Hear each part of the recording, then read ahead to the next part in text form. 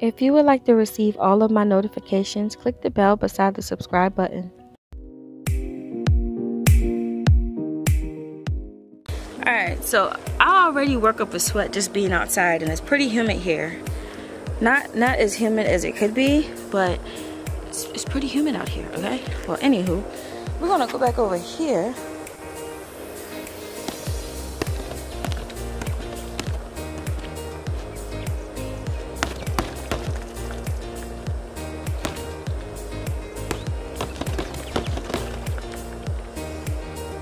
definitely feel awkward.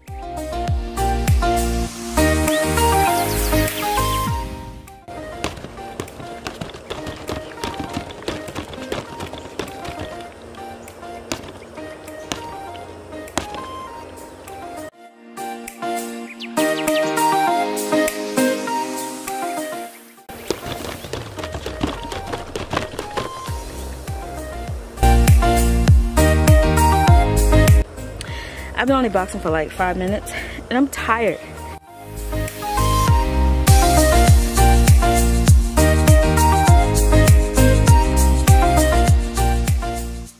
Okay, so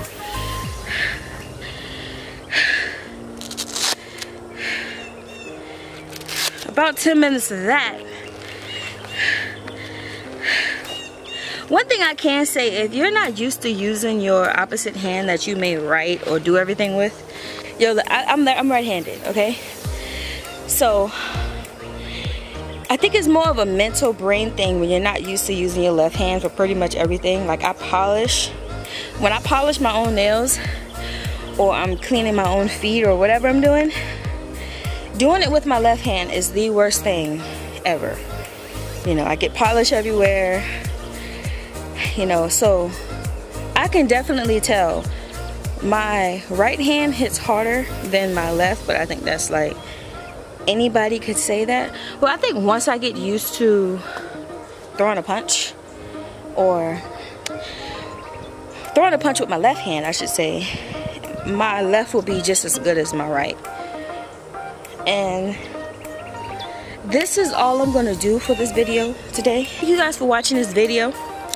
I will be doing a lot of this most definitely. And stay tuned for my next video. Don't know what it's gonna be on. Really honestly don't. But uh, uh, I'm ready to go in the house with my cool AC you know? Bye